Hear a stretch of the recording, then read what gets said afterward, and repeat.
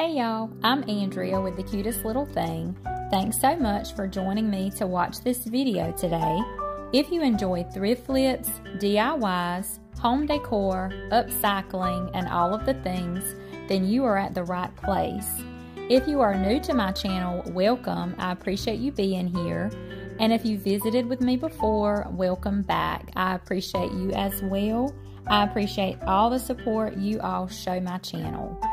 All right, let's get started with today's projects. I am so excited for this project. We're going to be using milk paint. This is Sweet Pickins Pantry Door. It is a beautiful green color. To use milk paint, you use equal parts of the powder form and water. So I have a tablespoon scooper there that I use in my craft room. I did one scoop of the milk paint and one scoop of water. Here is the piece we're going to be working on, you guys. I thrifted this piece. I was so excited. It is a beautiful piece and it's going to be even more beautiful when we get done with it. So my initial thought was to remove these little hangers and some of the screws um, were like wrung out and I couldn't get two of the hooks off.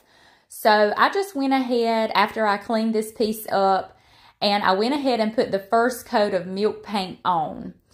And I was going to just paint around those hooks in the beginning. And then I decided to just paint right over those hooks and give those hooks that chippy green look as well and letting that bronze color black just kind of shine through there. Here I'm taking my blow dryer and just drying that first coat of paint. I definitely want to use molds on this piece. So these are the IOD Bird Song, I believe is the name of this mold. I think I'm correct. I will have all of that information in the description of this video so you guys can check that out. So I'm coating my molds here with baking soda and that just helps your clay not stick to the mold. Here I'm using my air dry clay. I grabbed this off of Amazon. And I just sort of roll my clay in my hands, sort of like a worm or a snake shape. And I begin pressing and filling my mold with my clay. I saw another crafter, um, her, she is Farm Fresh Designs, and you guys can check her out on YouTube if you don't already. She uses a old credit card or a gift card or something like that to press the clay down into the mold and then to just scrape the excess off the top. And it works really well. So I'm just casting my molds here. And you can see my little girl, Allie, over there casting her own molds. She wanted to craft today as well and she is doing a great job. Her mold is from Temu, one we got from Temu, and it has some really cute designs on it as well. So she's doing a great job also. And I'm just casting a few different birds here. Um, I weren't exactly sure when I started this process how many birds I wanted to put on the piece and exactly where I wanted to put them. So I was just casting several so I would have them ready. And there's her mold. She did an awesome job. Okay, here is where I was just kind of playing around, putting my birds on the mirror here, just kind of seeing how I wanted to get them placed. I got them placed. Now I'm using my E6000 glue and I just kind of put some on the back of my mold and I use my finger, guys, to spread that glue and if you don't want to use your finger, you could use like a chippy paintbrush or a sponge brush or something like that to spread your glue onto the back of your clay. And I just kind of press down. You want to gently press because you don't want to mess up the detail of your clay molds. And then I'm just kind of cleaning up the edges. Some of that glue will try to come out around the sides. And you can just take your finger or a paper towel or something and clean up those edges and the sides there. And you want to gently press around the edges because you want that clay to adhere to your piece all around the edges. You don't want to have a gap there between your mold and your piece. And just to help it, you know, give it a jump start on the adhering process, you just want to press down on those molds. And I, if I get little cracks in my molds, I usually just embrace those cracks. But if you're not a fan of those, you can wet your mold just a little bit and take your finger and gently rub over that crack. And if it doesn't get rid of it completely, it does help out a lot. And, you know, you can see less of it if you do that. But I normally just embrace them and go with it. Okay, I'm just taking that uh, milk paint here and just painting over those molds. I did let them sit just a little while and dry a little bit where we glued them. But mind you, they are still not completely dry on this piece, so I am brushing over them very gently. The video is sped up. It doesn't look like I'm being very gently, very gentle, but I was. And now I'm just I did go ahead and paint over the entire mirror again with a second coat. And this is Rust-Oleum's spray sealer. I just wanted to kind of spray those little hangers and um, help seal that paint where they wouldn't, where the paint wouldn't chip off so much because that is such a smooth, shiny surface. That paint is not going to adhere very well onto there. And I did want it to chip off. That was the point of using milk paint, but I didn't want it to come all the way off. So that's why I did the spray sealer. Now here I'm just coming in after all my paint is dry. I'm coming in with my Dixie Belle's white wax and I'm first I'm just going over the molds, brushing in that wax, getting it all in the detail of those molds. And then I start brushing on the entire piece, just going around everywhere, all over the piece, applying that white wax. You just kind of want to brush it in really well, just sort of polish it in and get it into that paint. Okay, here when I was applying my white wax, um, some of the paint was chipping off. I guess I didn't let it sit long enough and it was still in that chipping process. So I just took a little piece of sandpaper and just kind of helped um, finish chipping that paint. And now I'm going back in with more of my white wax. So I get ahead of myself often. So I really should have done that step before I applied my wax. So if you do this, just make sure you sort of sand over your piece before you apply any wax. And I'm loving how this is looking. I'm loving um, the chipping process. And I'm sorry my head is all in your vision here but I love how it's doing the chipping process and the original color of the piece is shining through. I think it complements this pantry door Sweet Pickins milk paint really well. Now I'm going in with Dixie Belle's brown wax and I'm just doing the same thing I did with the white wax. First, I'm going over our molds and you will see me blending these two waxes together very often, the Dixie Belle's white and brown wax. I just love the look that it gives and how those two waxes blend together. It just really takes it up to the next level, in my opinion. And now I'm wiping away the excess with a dry paper towel. And it's leaving that wax in all those details of those molds. And now I'm just taking my blender brush and just kind of blending around the edges using some dark wax all around those edges just to kind of dirty it up a little bit and make, make the piece look aged because with the chipping detail there, it's definitely, you know, showing signs of aging. So the dark wax will definitely complement that feature as well. And just wiping away the excess with my paper towel there. And I just kind of do continue doing this process until I'm happy with my piece. And I also took that dark wax and everywhere it's chipping and that off-white color is or cream color is coming through. I wanted to dirty that up just a tad more. I wanted it to be a little bit darker. So I went over all of those areas with my dark wax and wiped away the excess as well. Here is our finished piece, you guys. I love how this turned out. I was so tempted to keep this one for myself, but off to my booth it went. Let me know what you think of this one, guys, and thanks for watching.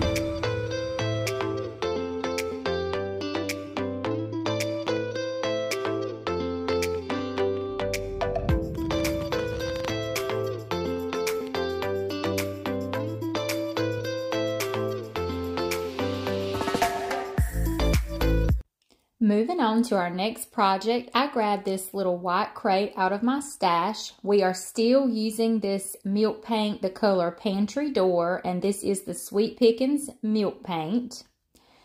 And this crate is like, well, it's wood, but it's like a raw, rough wood, and it was already sort of like whitewashed. Um, so I just cleaned it up and went ahead and went in with my Sweet Pickins milk paint. I let the first coat dry and then I went in with a second coat. Now I'm going in with my Dixie Belle's white wax and I'm just good, putting a good coating of that wax all onto this piece. And then I took my Dixie Belle's brown wax and I took a smaller brush and just kind of brushed some on where those cracks are in the boards. And then I also went around the top edge and the bottom edge and sort of just on the corners and just brushed on that brown wax just to give it sort of a dirty look. Now we're ready to fill our crate with goodies. So I grabbed a pool noodle and cut it into sections and filled the bottom piece of that crate. I took this burlap mesh and just cut a piece of it to kind of go over and hide the pool noodles, but to also just create a base for what we're going to put in here. Now I'm just adding some Spanish moss. This is a bunny that I had in my stash, and he's a thrifted bunny. And last year I painted him brown like a chocolate brown and just had him in my decor. So I grabbed him and I did a textured technique with him with mineral in the Waverly and pickling salt and just created a salt wash. I painted him up, added the white wax. I let him dry and now I'm, I just added him to the center of my crate there. I want to fill the crate with some eggs, so I grabbed some that I had there in my stash. These boxwood picks I get from Walmart. And I just kind of cut those up and just stuck around in my crate, just feeling it and just playing around with it until I get the look that I want. These beautiful pink roses are also from Walmart. And I can't remember, you might have seen it on the tag, but I missed it, the price. They were like a dollar 30 cent or something. And this cute little Easter sign is from Dollar Tree. And I believe I got this last year. I decided to kind of add it in the background of our crate. I thought that was really cute. Now, I grabbed this little terracotta pot, and this is the color hazelnut in the Waverly. And I just brushed on a quick coat of that paint. I like the terracotta pot look, but I wanted it just a little more toned down for this piece. And now this is the color Moss in Waverly as well.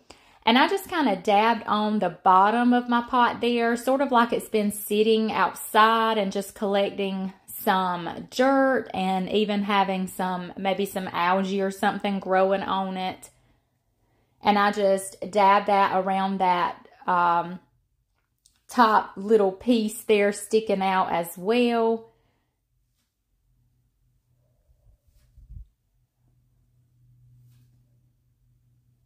And just kept dabbing that on until I got the look I wanted. I also dabbed on some brown wax, the Dixie Belle's brown wax.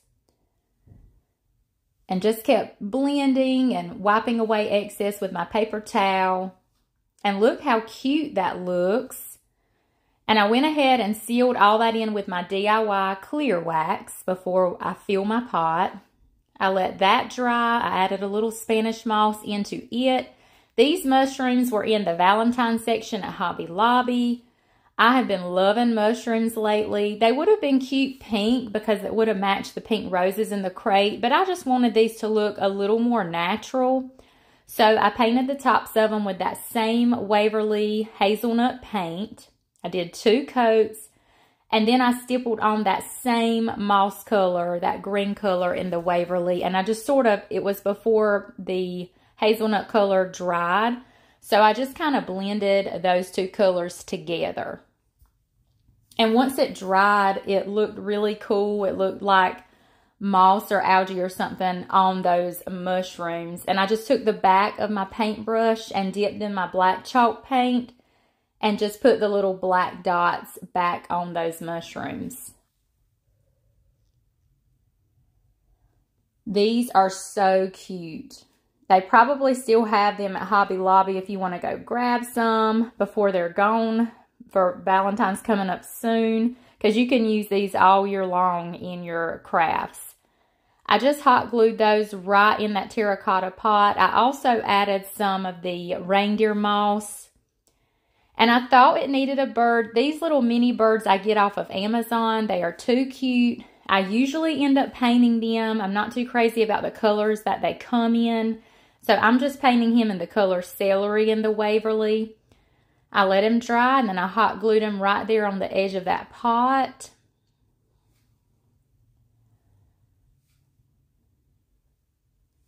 And look how cute that is. That's cute just on its own, like for a tiered tray or something. So I sat my pot there in my crate. I added a little more greenery in there. Got it adjusted like I liked it. Super cute. I thought I was done, but I did end up putting a bow on the bunny's neck and I highlighted his ears and eyes and some um, cracks on them with some dark wax. Let me know what you think of this. I think it turned out super cute. It is definitely beautiful for springtime and Easter coming up. And I am so ready for spring. What about you guys? Let me know what you think of this in the comments.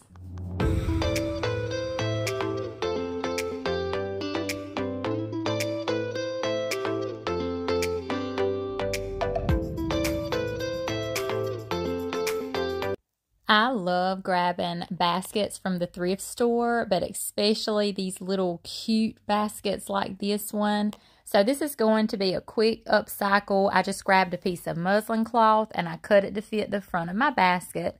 I had this super cute blue birdie transfer in my stash. So I just applied that transfer to that piece of muslin cloth using my transfer tool. You just rub back and forth while you gently pull up on that clear piece of film while you rub with your transfer tool. And you just do it nice and slow because you don't want to pull it up too fast and rip your transfer. And then you just sort of rub it, make sure it's all adhered really well. Then I took my clear DIY wax with my sponge brush and just rubbed all of that wax on to seal that transfer in. Now I'm just lining up that piece of muslin cloth and I'm just going to hot glue that piece of cloth onto the front of my basket and just cut off the excess there. Make sure it's nice and even.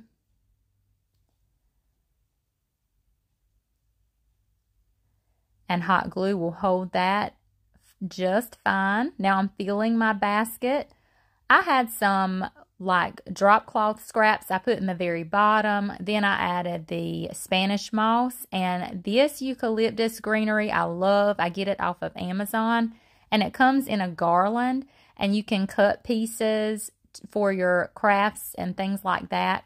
I wanted to paint this handle and I first went in with Fusion's Blue Pine I love this color. It's one of my favorite colors, but when I got it all painted and it dried, it weren't quite the color blue I wanted, so I actually grabbed my Waverly chalk paint in the color Agave. This is another favorite color of mine. I've done many projects using this color. I love this blue color as well. It has a hint of green in it. So I went back over that blue pine color with agave. And I like that much better, how it went with those birds in the front. Now I'm putting my greenery back in and I have these, if you ever see these red berries in the thrift store, pick them up because if you don't want to use them red, you can paint them blue and have you some blueberries in your, add them to your greenery or in your arrangements.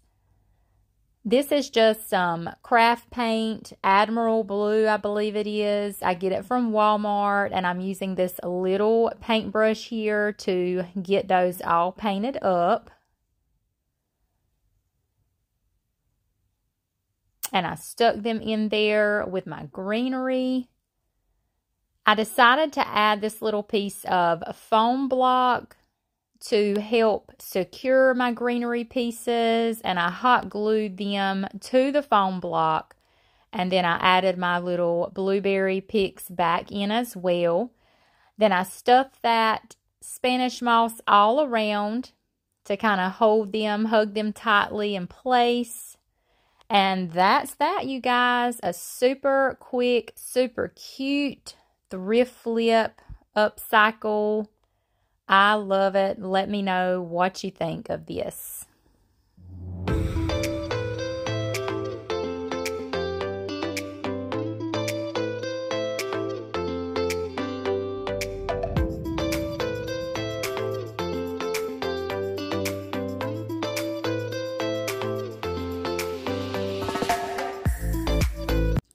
If you hang out with me very long, you will know that I love picking up frames at the thrift store and giving them new life with a paint job or even a new print inside. So with these, as you saw, we're going in with our Cottage Color DIY paint in the color Crockery. This is an all-in-one paint, so it was perfect to use to paint over these smooth, slick, shiny gold frames. I went ahead and did two coats on each frame. And I don't tape them or anything. I don't tape up the glass because if you do get a little paint on the glass, it wipes away very easily or scratches away very easily once you're all done with your project and your paint is dry.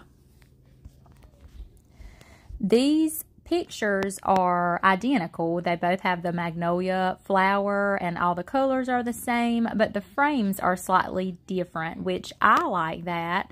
Um, they have slightly different detail and texture.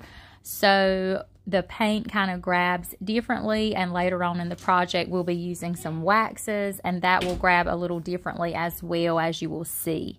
Now that that's dry, we're going to go in with our Sweet Pickins milk paint. This is the color Pantry Door. It's a beautiful green color. I love it for spring and Easter coming up.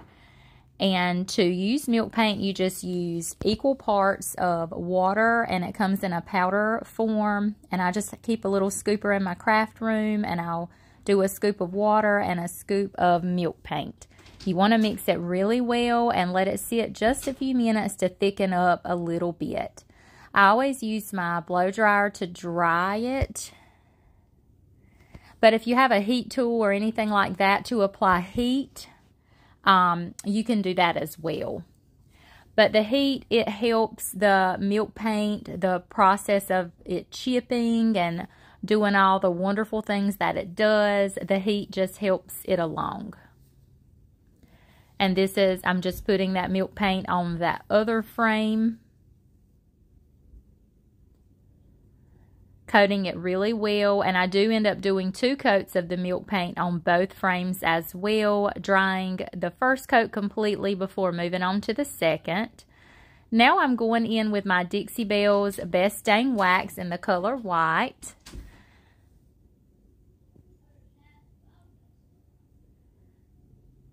I'm just brushing all around getting that wax all in the details of that frame I want that frame to hold on to all of that wax and we'll let it sit just a few minutes and then we'll wipe away the excess with a dry paper towel. And I do the exact process to the other frame and this is where you will see how those two different frames grab a hold of that wax a little bit differently but I still love how they look together and they pair well together. And I think this green color pairs so well with the gold and cream tones in this picture. I did decide to go ahead and go with my Dixie Belle's brown wax as well. Y'all know I love combining these two waxes together. I love the look that it gives. And I did want to give it just a little bit more of an antique look and it would go, there are some brown tones in this picture when you get up close. So it just sort of blends it a little bit better and helps the entire piece come together well. And I do the same thing to the second frame also.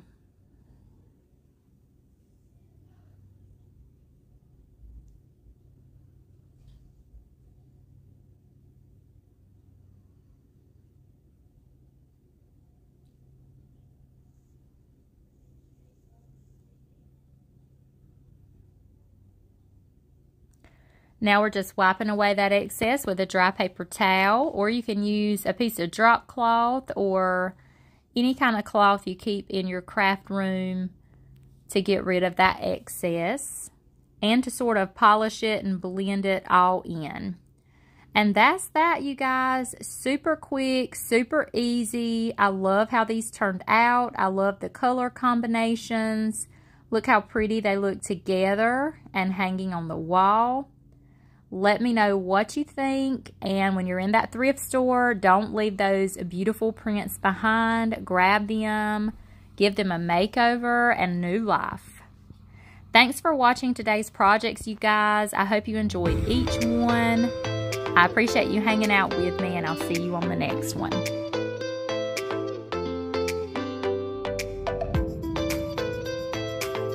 All right, let's see those finished products one more time.